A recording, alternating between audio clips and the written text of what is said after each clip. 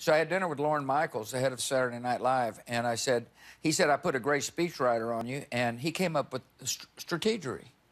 And I said, wait a minute, I said strategery. and he said, no, you didn't say strategery. I said, I damn sure said strategery. He said, we invented. I said, well, let me ask you this. Did he come up with misunderestimate?